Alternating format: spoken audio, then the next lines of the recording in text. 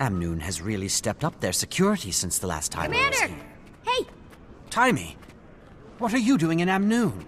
I decided to take a break from the lab and get back out in the field. I'm here to give you guys a hand and hopefully poke some stuff.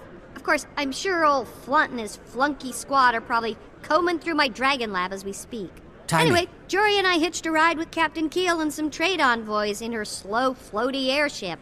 This place really needs an Asura gate. Taimi, Balthazar's dead.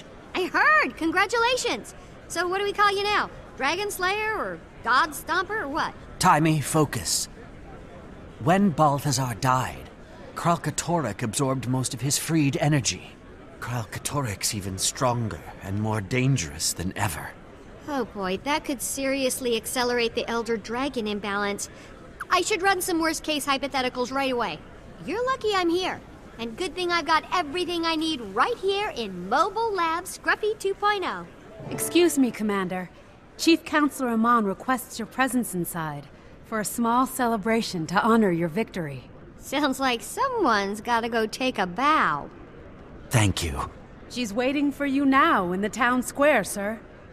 Everyone is. Eh, no rest for the heroic. Taimi, I'll go and say a quick hello to the counselor. Then we can meet on the docks. I'll catch you up on everything there. You got it, God Stomper.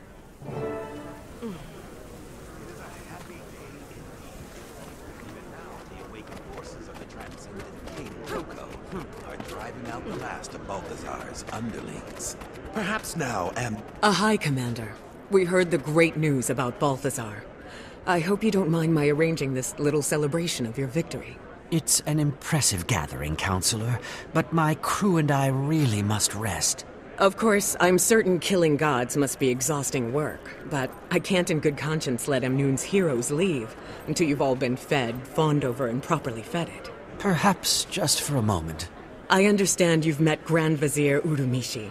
He's been regaling us with tales of your close collaboration on this great victory. what? Him? Yes, the Grand Vizier deserves all the credit he can grab. I would not have had the use of Joko's troops if it were not for his eager insistence. When the truth about this victory is told to King Joko, I promise your name will come up as well. Oh, oh no. Excuse me. I, I, I must go. Now.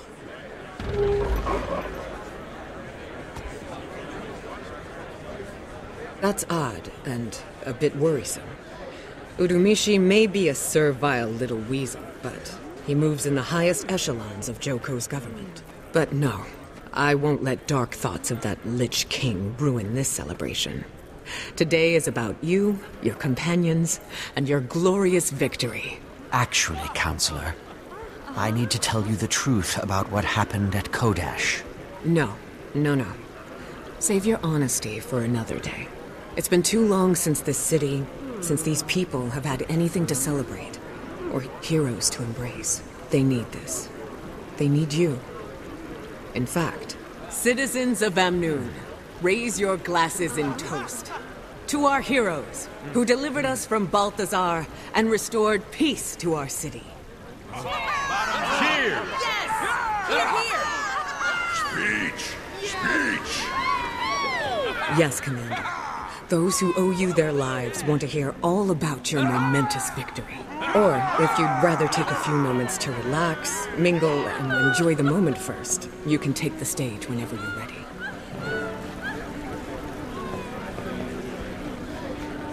Of all the gods, I've always liked Balthazar least. As soon as I'm finished with his speech, thank you for encouraging Anyway, them. I'm glad he's We've dead. got to gather everyone up and find Aurene. It's embarrassing to think that Dragon's Watch has been reduced to dragon babysitting. You saw what happened when Balthazar died.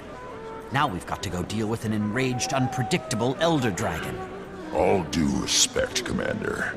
That's all I've wanted to do from the start. Well, you're about to get your wish. I just have to figure out what I should tell these people first. Any advice? What did Canach say? I haven't spoken to him yet. Why? I just wanted to know which one of us you came to first. Seriously? Well, I think you have to tell them the truth. That the gods have abandoned them? That killing Balthazar backfired, and now there's a riled up crystal dragon somewhere on the horizon? Listen, if Kralkatorrik shows his big scaly snout here, it'd be nice if these people were ready for it.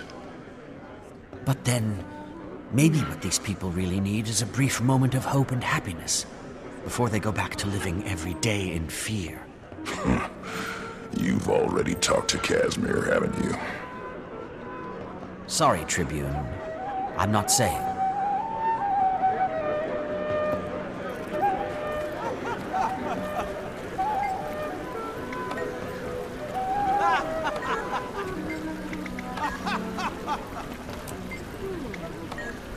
I've never seen an actual hero up close For the before. last time, I am not a grouchy cactus man, nor am I a giant talking choya. You urchins have the manners of a fifth-born. This celebration, it's all wrong. Tell me about it. They closed the casino for this little soiree, so I can't collect for my wager on you until tomorrow. Which means I'm stuck in this haven for giddy, singing, dancing humans for at least one more day. We Sylvari are not, by and large, a giddy folk. We'll be out of here soon enough. Really? Unless I misheard, don't you have a speaking engagement first? Believe me, I considered just sneaking out. But I'm convinced Counselor Iman would just hunt me down. Might I suggest, when you do speak, that you avoid giving them the whole frightful truth while they're in such a party mood? On the other hand, I would also be wary of painting too rosy a picture. No reason to encourage their delusions of safety. We want them to stop this frivolous behavior and return to their senses when the morning comes. Just keep it vague. Nothing to get people too worked up either way. You just don't want them to close the casino again tomorrow. In my defense, it was a substantial wager.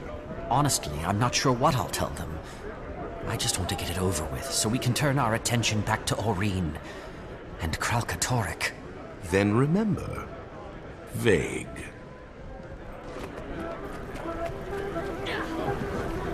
You think before you guys pack up and head home, you could maybe do something about those We owe pesky you our sanctions? They're the worst. Mommy, is that the hero? I doubt you remember me, but I was in the pyramid. I hope my daughter grows up to be just like you. Commander, good. to thank you. So We've got to get back out there and find Aurene. And figure out what to do about Kralkatorrik. We just have to make a graceful exit from this celebration. Uh, by the way, you're not considering telling these people everything that's happened, are you? I don't know yet. Please. I've spent a lot of time around these people. I'm not sure that they could handle the truth about the gods or the Elder Dragons. Not after all they've been through. Can't we just give them one day? I suppose it is true that the most immediate threat is gone.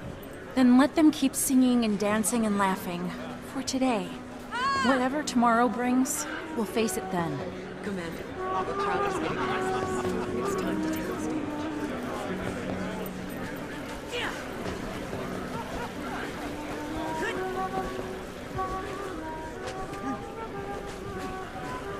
People of Amnoon, please open your hearts and prick up your ears for the warrior who stood toe to toe with the wrathful god. And how?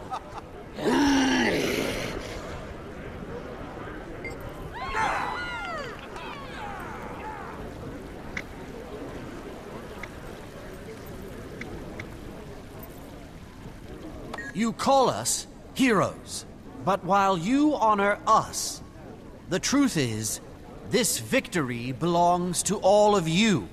Balthazar betrayed everyone who revered him. Even the other gods rejected him.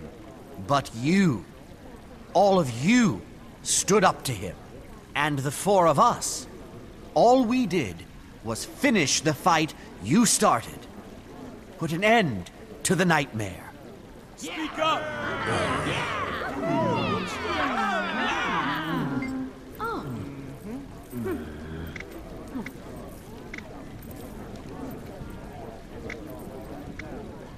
But Balthazar's death also stirred the elder dragon Kralkatorrik.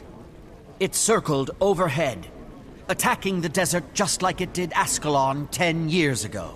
When the smoke cleared, we saw it disappear over the horizon. But the immediate threat is averted. Balthazar is dead. His forged army defeated. Meaning tranquility in the desert. At least, for now. Yes. Can't hear you. Take this moment to celebrate the death of the nightmare that has terrorized your world. Hopefully, tonight you will sleep easier. But tomorrow is a new world. Without gods, and still plagued with elder dragons intent on reclaiming this world as their own. And we're the only thing standing in their way. So, a toast to this lull in the battle. Sleep well. Thank you. What? What do you say about the gods? In retrospect, perhaps the speech was ill-advised. All the decorations, the food, and now no one's feeling festive or hungry. I apologize for ruining your celebration, Chief Counselor. Still, I hate to see it all go to waste. So, you and your friends, please, take some hummus. Now that you've convinced them the world's about to come crashing down around their ears, we should go. Well, you really sucked the fun out of this shit.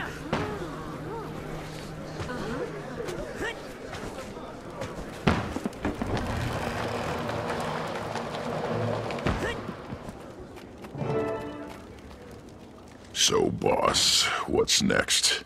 I filled Taimi in on everything that happened with Balthazar, Kralkatorrik, and Aurene. First of all, about my killing Balthazar. You did what you had to do to save Aurene and yourself. And if it weren't for you, Commander, none of those people at that party would be alive right now. That's rather faint praise. Well, first thing we have to do is find Aurene. First thing is to hunt down Kralkatorrik. Neither of those will help until we find out how to replace Elder Dragons. And, as usual, we'll probably end up having to protect all those innocent idiots who don't know how to stay out of harm's way.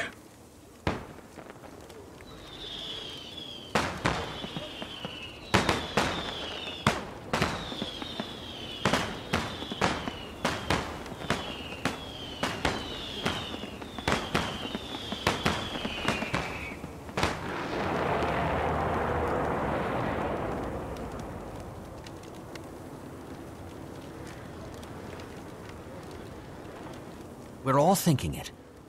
So I'll just come out and say it. Should we try one more time to get all of Dragon's Watch together? After all this time, do you even know where everyone is? Well, one of them is right here. Jory! Kas, thank the gods you're okay. Canach told me what happened with Balthazar. I was so afraid I'd never get to see you again. To tell you that I... I am so sorry about the way we left things. I know. I know. Me too. I hate to interrupt, but did anybody feel that? Feel what? Oh dear. Tell me this is just normal desert stuff.